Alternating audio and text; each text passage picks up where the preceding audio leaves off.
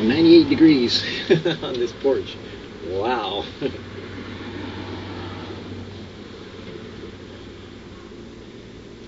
I think that when we are given the opportunity to remove most of the distractions that make us do things or that we have allowed into our lives to force us into acting in a certain way, whether it be our schedule or our kids or our lifestyle or our telephones or any other technological thing, whether it be texting or beepers, even a, I'd say a servant, but we don't have servants, but a, an assistant or say a business partner or somebody that can come over and knock on your door. Whenever we allow those to tug and pull at us, then that's really not being still, is it? It's not getting alone with God.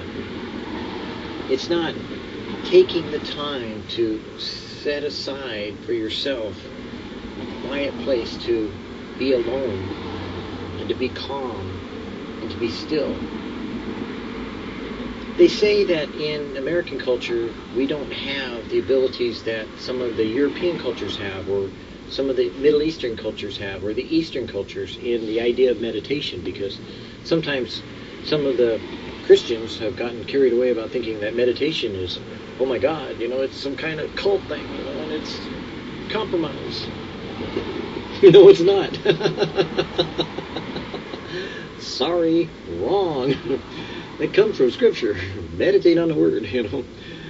Literally, you are required, if you read the Scriptures, to come away with God to a place that would be quiet and still before you so that you would not sit around going Krishna, Krishna, Hare Krishna, or, you know, Om, or losing your mind, but rather you would be stilling your soul and calming your spirit to come to a place of listening to what God would say.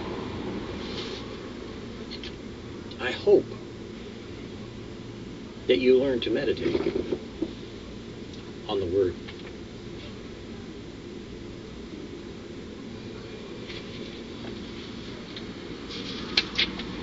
In utmost sanctification. This is the will of God, even your sanctification. 1 Thessalonians 4 3. The death side.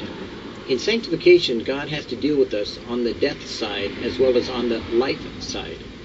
Many of us spend so much time in the place of death that we get sepulchral. Sepulchral. sepulchral. Boy, is that a tongue twister. We get grave-like. There's always a battle royal for sanctification. There is always a fierce battle before sanctification. Always something that tugs with resentment against the demands of Jesus Christ. Immediately, the Spirit of God begins to show us what sanctification means, and the struggle begins. If any man come to me and hate not his own life, he cannot be my disciple. Oops. Uh oh. One of those.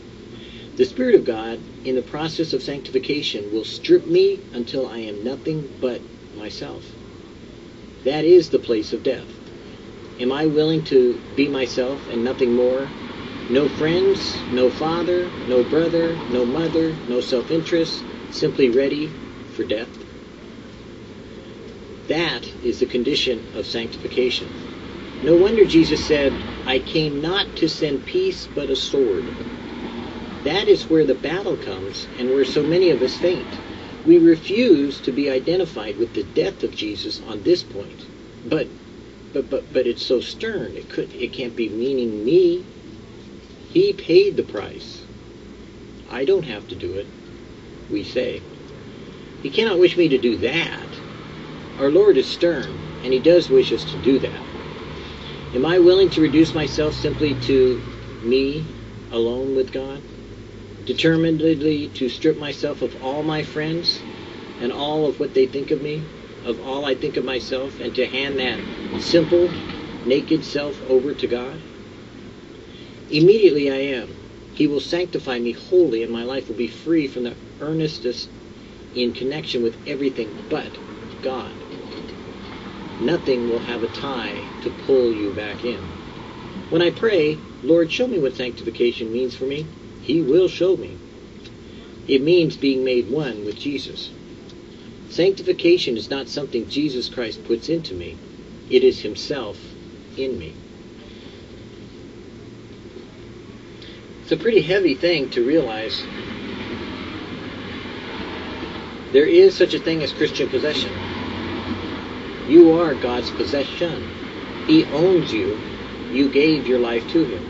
You surrendered the throne of your life, the self will, the self determination, the rights that you have to yourself to God. If you haven't, you aren't born again. You may feel like you have salvation, but the reality is, Jesus may say, Why did you not do the things I said if you call me Lord, Lord? And why would you call him Lord if you have not given him your life? Sanctification is a fancy word. It simply means set apart for a specific purpose. And God has designed it so that you would be set apart for a specific purpose. But somewhere along the way, people have set salvation as a separate issue from sanctification. You're no longer set apart for a specific purpose, but you got saved so you could go do your own thing and declare it unto God as being His thing for you. You said, Oh, but I got saved and then I had to find out my gift, so I'm gifting, and there's gifting this and gifting that. I'm gifted in this and I'm gifted in that. But did you die, literally, to all that owns you and possesses you, and then ask for not your will but God's will be done? That is sanctification. If you would make Jesus Lord, then you must give up everything else you own. Jesus did not mince words with that. In the reality of all that he said, when he declared, I came not to bring peace but a sword, he also said, He that does not hate his own life is not worthy to be called my disciple. Are you willing to give up everything that you own right now to possess Jesus? That is what he's asking. That is what sanctification means.